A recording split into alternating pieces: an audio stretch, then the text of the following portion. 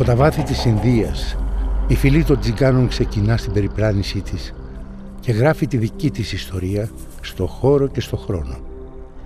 Ευρώπη, Αφρική, Ασία, Αμερική. Όλος ο κόσμος γίνεται ένας στην αγκαλιά των δρόμων.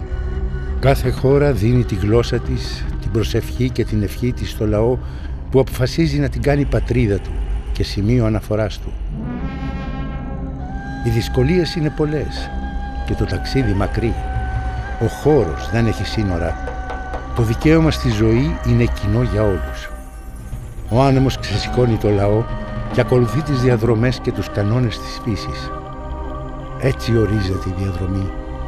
Έτσι γράφεται η ιστορία στο όνειρο. Ντομ, λομ, ρομ. Οι φυλές των τσιγκάνων.